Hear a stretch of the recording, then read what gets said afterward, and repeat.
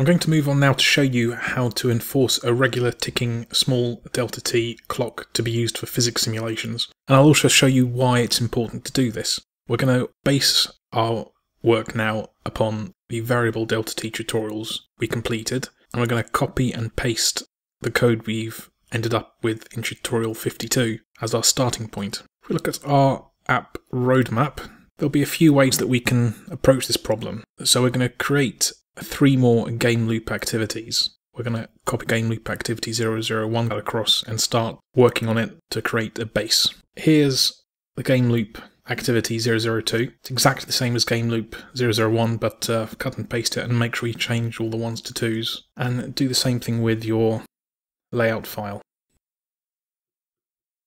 And also in the manifest, make sure you set the screen orientation as portrait for your 002 game loop activity. And I'll just hit save at that point. If you go back into your activity game loop 002, we're not going to do the rotating circles. We're going to do something completely different. So we're going to remove anything that's related to the moving circles. This line can go. Let's just delete that. We won't need these either.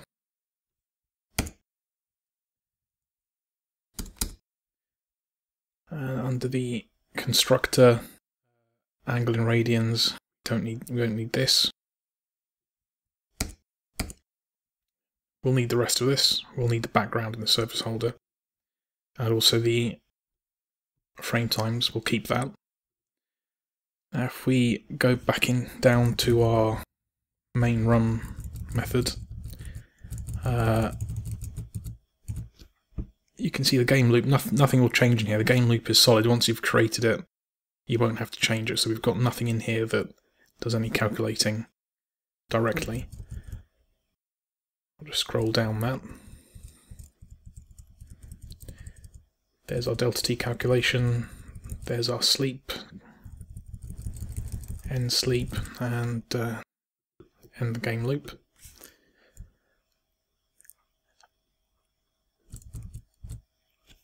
Our update function, well, we no longer need to calculate any angles, so all of this can go.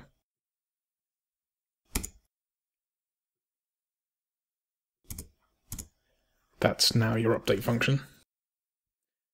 Draw, well, at the moment all I want to see is the background, so we can remove anything related to circles again. And all you need at the moment is your canvas locking background drawing and unlocking the canvas and posting it. Paintbrushes, that can stay as it is. We'll need those paintbrushes. Pixel converter, still need to convert from density pixels to device pixels. That can stay. The pause and resume functions, here they are, they can also stay.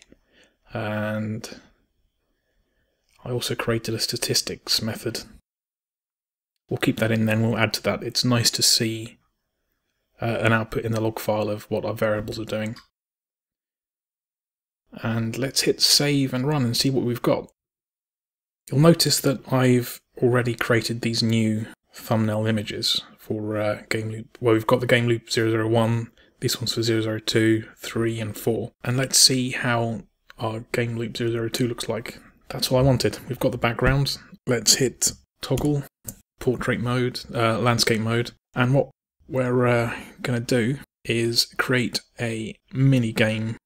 I'm just going to shoot the ball out of a cannon and trace it across. And then we'll use that to analyze the effects of having a regular small delta t clock and not having one. And we'll continue this in the next tutorial. Thanks for watching.